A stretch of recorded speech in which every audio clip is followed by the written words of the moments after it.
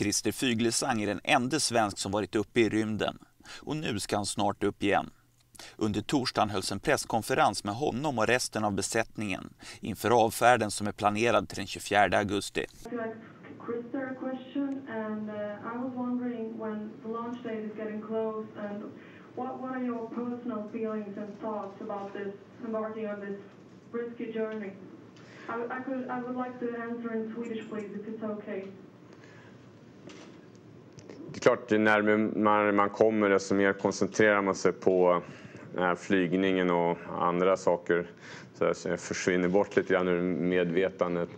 Eh, känner ingen speciell nervositet, du kallar det riskfyllt. Och det är klart att på, på pappret eh, så, så är det ju en, en, eh, relevant risk. Men det är ingenting som man, som man här, tänker på känslomässigt. Det är, en, det är en slags abstrakt logisk siffra. Eh, och alltså, i övrigt så man koncentrerar sig mer och mer på, på liksom att eh, nu, nu ska det hända. Man förbereder sig så gott man kan. Ja, Christian Kören från Expressen. Eh, Christer Fuglesang, hur är det att gå på muggen i rymden? Vad sa du? Was again the question about how to go into toilet in space. And, uh,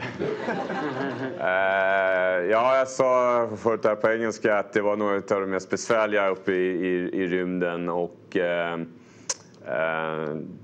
det är liksom inte så lätt att bara sätta sig ner och så gör, utan det är en apparat som måste sättas igång med rätt knappar och grejer. Då gjorde jag inte rätt en gång. Då, då.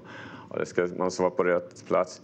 Ytterligare, förutom det tekniska, så att säga att det måste funka, att det suger ner rätt och sånt där. Och suget är inte alltid tillräckligt starkt. Är att, eh, I tyngdsättet så fungerar det inte alltid magen lika ska säga, bra och lätt som, som det gör på jorden. Nej, men det, magen eh, faller inte ner, tarmarna faller inte ner på samma sätt så det kan ta ett tag innan man får igång den funktionen så att säga, eh, som det är på jorden.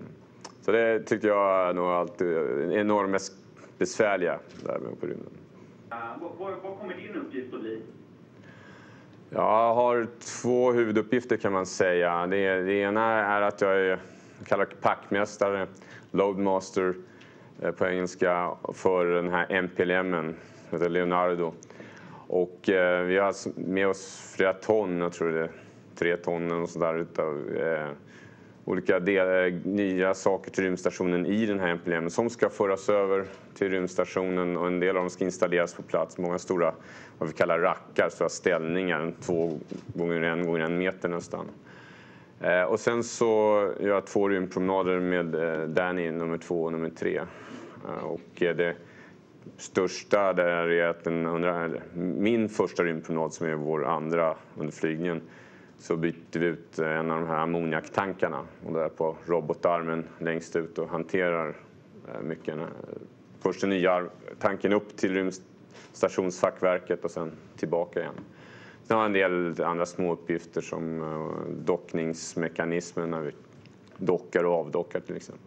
So the question was what my tasks are on the space flight and I just talk, told them about the space orcs, MPLM, My name is Sylvia Schavar. I'm from the Swedish radio, and I have a question for Kista as well. And I'm going to take it in Swedish, I think. Um, vilka vetenskapliga experiment kommer du att utföra på rymdstationen? Jag deltar i några medicinska experiment. Eh, några som eh, leds av ESA eh, som studerar hur mitt balanssinne påverkas utav tyngdlösheten. Så det, det, är grejer, saker som man inte gör under själva färden faktiskt. Men däremot direkt efter vi landat så kommer jag sitta i en snurrstol och, och så studerar de hur mina balansorgan reagerar på det. Eh, och sen är det tester under, nästan dagligen under veckan efter landningen. Eh, Nicole ska mäta hur mycket min rygg, längden ändras. Eh, vi test, kollar hur bra vi sover i rymden. Jag vet inte om det går att se där, men det här är något som kallas en active watch. Det liksom mäter ljus och hur jag rör mig. Och den då, från den kan forskarna utreda när jag verkligen sover. Samtidigt så log, eh, tar jag vet, skriver i en loggbok hur mycket jag sover och sånt där.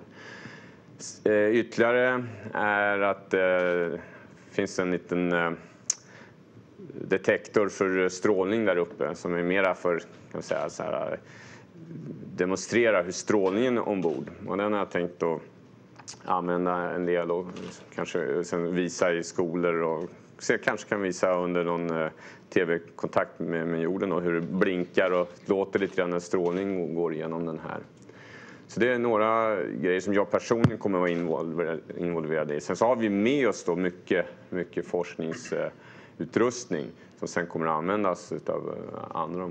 Så